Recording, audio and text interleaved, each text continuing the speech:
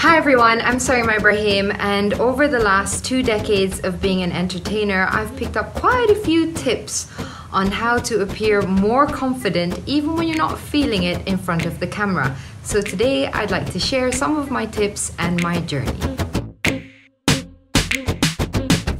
When I was a young graduate, confident communication was you had to show up face to face. If you wanted a job, you've got to be there. You've got to be physically present and you've got to show that confidence physically.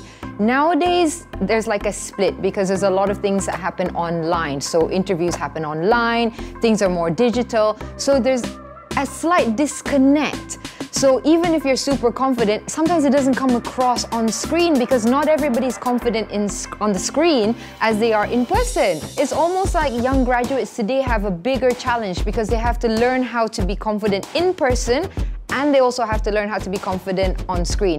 It's completely different talking to people on a Zoom call, right, than talking to them in person. So I think that's a very big challenge for young graduates today. So props to all of you who are trying your best. Confident communication now, I, I would say, would be um, knowing who you are and what you want so that whether you're communicating in person or you're communicating digitally, at least you get your, your, your points concise direct, and at the same time, you can show your personality because that's what's missing the most right now, the personality aspect. And it's not easy on camera, I understand. goodbye, see you later. Ambil kasut I jalan keluar. Nampak garang ke? Banyak orang cakap dia garang. Ha, tapi... Sebenarnya memang dia garang. Ah, sukalah interview you. Macam-macam tu jawapan. Tidak lagi.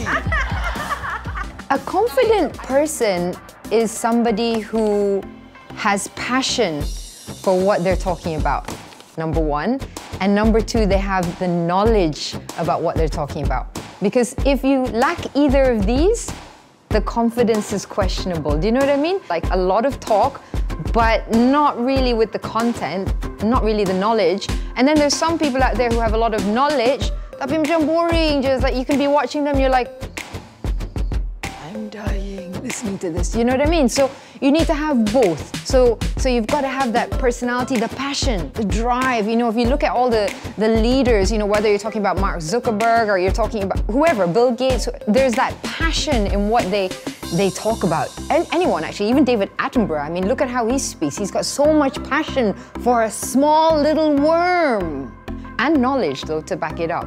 So I think these are the most important things you need to have. Um, the confidence will come across with the passion and the other 50% is the knowledge. The worst thing is talking to somebody and they don't know what they're talking about that, that just makes you kind of cringe, and like, you, know? you know, plan my schedule, plan what I wanted next, and then really go for it one at a time. You can't just sort of sit back and go, hey, you know, I'm checking out for two months, I'm gonna eat what I wanna eat and just not think about my, my health. Because so day to day, you can do things for yourself, like um, make a schedule.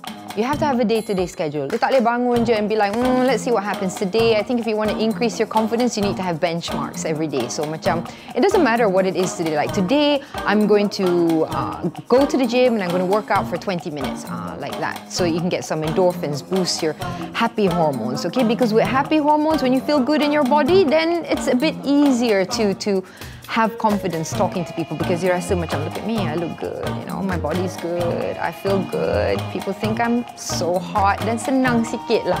I mean, if you wake up and you're sluggish and you're like, oh, I feel so useless, susah, you know, when you face someone at work, couple, you'll be like, what's up? You'll be like, what's that's not good. Boost your own happy hormones.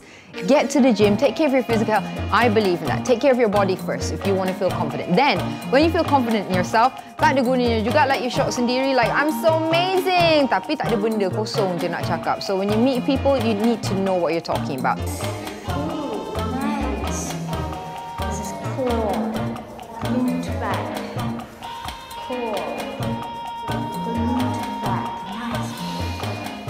Confidence comes from the social interactions that you have. So day to day, janganlah pergi hang out dengan yang negatif je. Like if you hang out with friends and colleagues who are like, everything's horrible, life is crap, then you akan terikut juga lah. So you have a tendency to follow those who you're close to. You know, birds of a feather flock together. So you want to be part of the birds that are flourishing, good. So then you will feel more confident because you feel like I found my tribe. You know, they understand me, and and that will help you. And then you have a tribe of people who know you, and then they can advise you too with the life decisions that you're making. So itu itu like macam grander scale of things, okay? It is Merdeka weekend. It is a fun time for all. Bring your family down, bring your grandmothers, your grandmother's grandmother, your children, your husband, your wife, whoever you have. In a smaller scale, a lot of people say, can I practice in front of the camera and all? I don't, I don't agree with that. I never practiced in front of a camera in my life or in front of a mirror. What I did was, I just read what I needed to read if there was a show or an exam, and I just spoke to myself and I would ask myself the questions like, okay, Sarima, this biopsychosocial question, apa jawapan dia? Talk to yourself, give yourself the information back and then you tanya, benda ni macam logik ke? Did I understand the answer? Because if you understand it, somebody else will understand it. Oh my god, we're gonna buka in five, four, three, two, azan. Yes. So tak pernah macam makan, rupanya belum buka lagi. Ah, pernah. Tu pernah. Over. Wrong timing. I kan Ireland, Ireland and Johor, so I ikut masa Ireland sometimes. So another thing you can do to be more confident besides, you know, take care of your physical health, have a good tribe around you is how you present yourself. Dressing and whatnot. Some people like to dress ikut apa trend je, but they don't really feel it. So bila pakai rasa macam janggal, like this isn't me. So I always say dress according to what makes you feel confident, you know, don't try to be somebody you're not. So just find your style, find your tribe, keep your body healthy, and that is a good beginning for feeling confident.